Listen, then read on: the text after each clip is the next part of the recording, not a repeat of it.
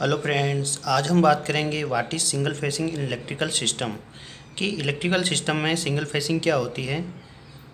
तो आज हम इसके बारे में डिटेल में बात करेंगे। जैसा कि आपको एक सर्किट में दिखाया गया है, एक स्टार्टर्स को मोटर से कनेक्ट किया गया है। जब हम स्टार्टर को स्टार्ट करते हैं तो हमारी मोटर रन होती है। किसी कारणवश या किसी मेजर फॉल्ट की वजह से हमारा एक फ़ेज़ मोटर साइड से मिस हो जाता है। तो हम उसको सिंगल फेसिंग कहते हैं, जिसके प्रभाव में मोटर या तो और हीट हो जाएगी, या फिर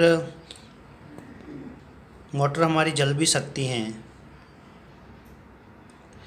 सिंगल फेसिंग की प्रॉब्लम बेसिकली या तो लूज़ कनेक्शन की वजह से हो सकती है, या फिर मोटर में जो करंट होती है, तीनों फ़ेज़ में अनबैलेंस की वजह से हो सकती है। तो हम इस सिंगल फेसिंग प्रॉब्लम को सॉल्व करने के लिए हम फेस प्रिवेंटर का यूज़ करते हैं, जो कि हमारे पूरे थ्री फेस सिस्टम को प्रोटेक्ट करता है और कोई भी, एक भी फेस मिस होने पर हमें सर्किट को सेपरेटली ट्रिप कर देता है। जैसा कि आपको सर्किट में दिखाने की कोशिश की है मैंने कि हमारा जो ब्लू वाला फेस है, वो बाय चांस किसी वजह से ब्रेक हो गया है।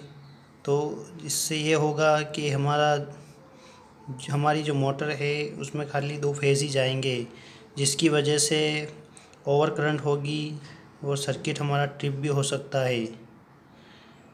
तो इस तरह के मेजर फॉल्ट को हम प्रोटेक्शन देने के लिए हम फेस प्रिवेंटर का यूज़ करते हैं। जिससे हमारी मोटर और हमारे सर्किट को एक्स्ट्रा और एडवांस प्रोटेक्शन मिलता है। सिंगल फेसिंग की वजह से हमारी मोटर भी ओवर हीट होगी और जो हमने मोटर के लिए केबल यूज़ की है, वो भी ओवर हीट हो जाएगी। अगर सिस्टम में कोई प्रोटेक्शन नहीं लग रहा है तो मोटर के साथ साथ हमारा जो भी फीडर है, उसमें भी मेजर फॉल्ट आ सकता है। तो इसके लिए हम प्रोटेक्शन सिस्टम में फेस प्रिवेंटर या एमपीसीबी का यूज़ करके भी हम इसको प्रोटेक्शन दे सकते हैं। थैंक यू फ्रेंड्स उम्मीद है कि ये वीडियो आपको बहुत पसंद आएगा। ज़्यादा से ज़्यादा लाइक करें शेयर करें अपने फ्रेंड के साथ। Thank you